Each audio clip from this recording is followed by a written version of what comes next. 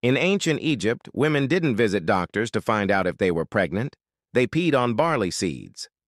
Around 1350 BC, Egyptian women followed a strange but real test recorded in the Papyrus Carlsberg collection and the Berlin Papyrus 6619, some of the oldest medical texts on Earth. The method was simple. A woman would urinate daily on two piles of seeds, one of barley, the other of emmer wheat. If the seeds sprouted, it meant she was pregnant. If neither grew, she wasn't. But there's more.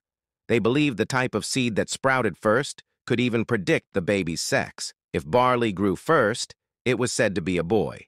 If wheat grew first, a girl. For centuries, historians thought this was pure superstition, until scientists tested it in 1963. In a controlled study, they found that urine from pregnant women actually made seeds sprout faster, likely because of higher estrogen levels. So yes, over 3,000 years ago, Egyptian women used a test that was nearly 70% accurate long before modern medicine. What began as an ancient ritual turned out to be one of the earliest scientific pregnancy tests in history.